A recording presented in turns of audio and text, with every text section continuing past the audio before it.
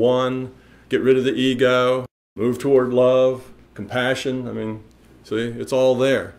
It explains all those things. Why C has to be constant and why why particles are probability distributions.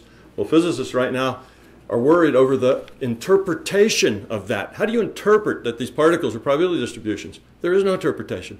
They're just probability distributions. That's the way reality works. Everything is a probability distribution until the measurement's made. Our whole reality works that way.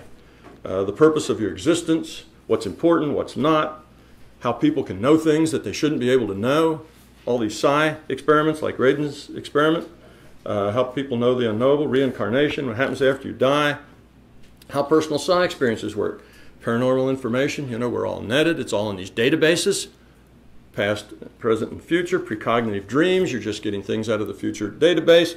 Healing, you're modifying the probabilities. Remote viewing, you're either, you take, if it's a remote viewing around in this reality, you're just getting data out of the databases. When you see auras, you know, I've seen auras for probably 30 years, it's just data. You can define that output however you want. You're just getting, you're connecting to the database and getting data. The aura is just a metaphor. It's a visual metaphor for the data. Um, so, the failure of science to find consciousness in the brain or to limit the effects of consciousness, well, it's because it's not consciousness. We finally answered Fredkin's, Fredkin's big question. He said, other. It's in other, and we don't know what that is. Well, Dr. Fredkin, consciousness is the computer. You see, consciousness is the computer.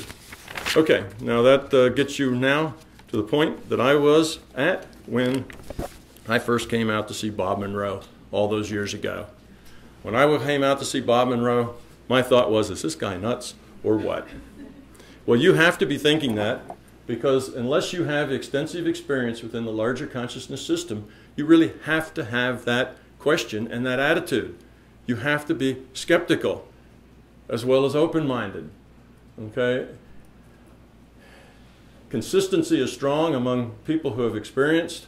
You know, you go back and look at Lao Tzu, started Taoism, and uh, he expressed his understanding of reality.